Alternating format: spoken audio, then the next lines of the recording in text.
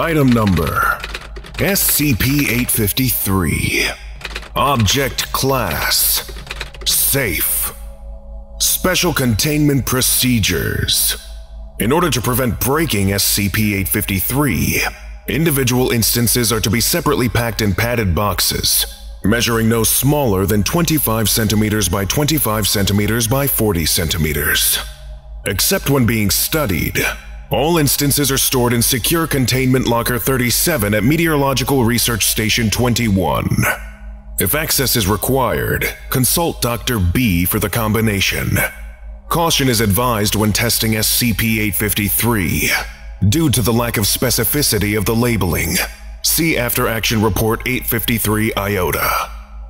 Description SCP-853 consists of sealed canning jars of various sizes and makes.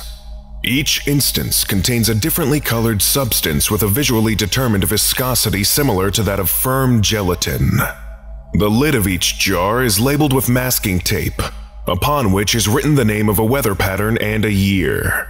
Examples include SCP-853-12, Gentle Summer Rain, 1979, SCP-853-145, Furious Tornado, 1952, and SCP-853-359, Blinding Dust Storm, 1982. At least three different styles of handwriting are present. Instances of SCP-853 are no more durable than commercially available canning jars of the same size. When an instance of SCP-853 is opened, the contents immediately begin to violently sublimate and vanish completely within 12 seconds. Between 7 minutes and 22 hours later, a weather system matching that described on the label will manifest at the site the instance was opened, regardless of the original or normal weather systems for that area. Anomalous weather patterns will persist for a minimum of 30 minutes and dissipate thereafter. The exact rate of dissipation appears to be related to how different the anomalous weather pattern is from the normal regional climate. Use of SCP-853 instances to assist in the containment of additional anomalous weather patterns, including instances of SCP-1746, is pending review.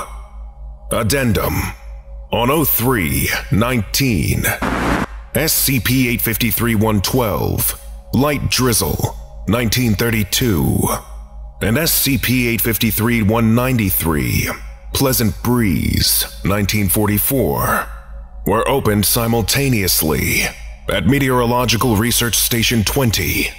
The resultant thunderstorm produced over 1 meter of rain and wind speeds up to 88 kilometers per hour and persisted for 18 hours before dissipating. Any further proposals to test more than one instance of SCP-853 at a time must be approved by both Dr. B and Dr. J, at least one of whom must be off-site at the time of testing. Addendum On 1225, the Foundation detected a snowstorm over the town of Australia. Investigation resulted in the acquisition of an additional instances of SCP-853 from the basement of an elderly woman by the name of A.M. The handwriting on the lids of the new instances was different from those already contained, but matched that of Mrs. M. Mrs. M died of a myocardial infarction upon her detainment, before an interview could be conducted. Lesson complete. If you missed the previous orientation, go watch SCP-852, Lunar Anomaly, right now. Or for the complete course, watch this playlist.